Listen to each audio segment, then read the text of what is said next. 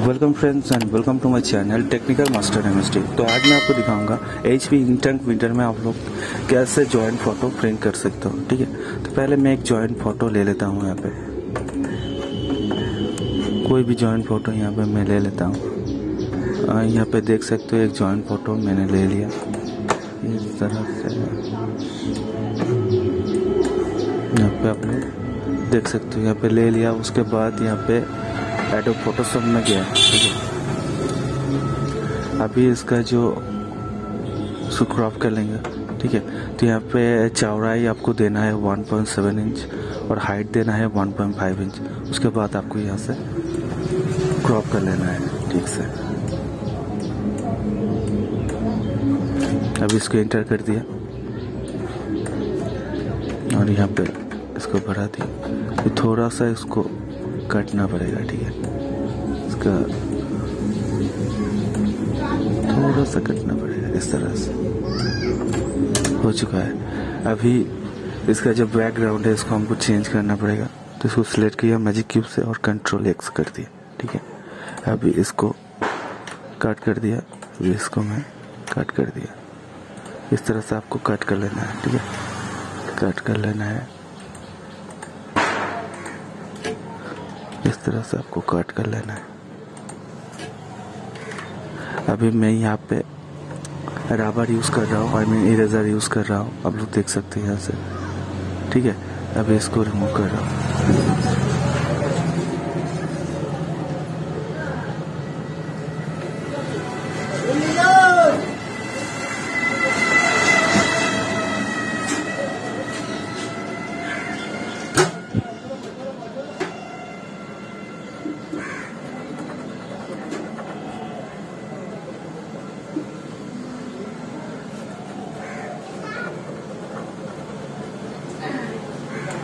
हो चुका है।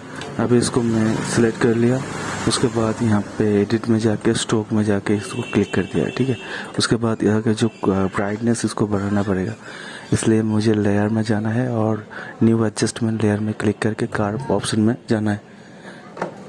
उसके बाद यहाँ पे कार्ब ले लिया। अभी इसका ब्राइटनेस में बढ़ा रहा हूँ। इस तरह से आप लोग यहाँ पे ब्राइटनेस बढ़ा सकते हो, ठीक है?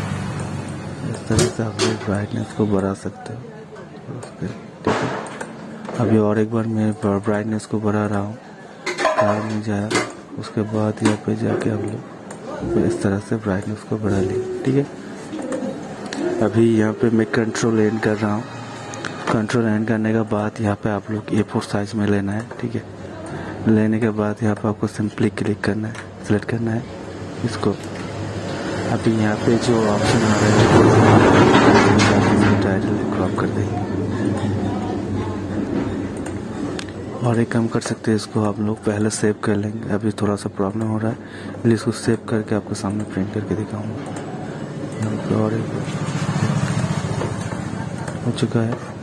अभी इसको मैं बंद कर देता हूँ। और इसमें जहाँ पे सेव किया, इसको खोल कर यहाँ पे फोटोशॉप में ले लेता हूँ। उसके बाद यहाँ पे और एक बार कंट्रोल एन कर रहा हूँ। उसके बाद टोटल को सिलेक्ट कर लिया।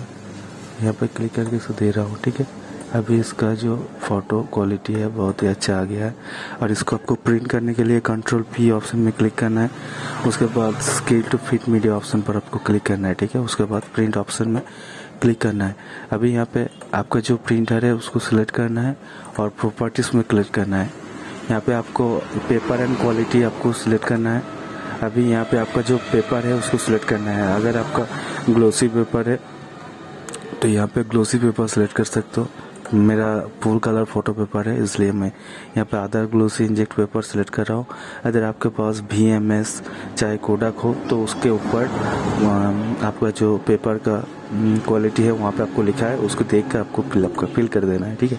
तो यहाँ पे मैं आधा ग्लोसी इंजेक्ट पेपर सेलेक्ट कर दिया। उसके बाद आपको यहाँ पे क्वालिटी सेटिंग यहाँ के आपको, आप पेस्ट कर देना है, क्योंकि एच पी प्रिंटर में थोड़ा सा प्रॉब्लम आ रहा है, आप सभी लोगों को पता है।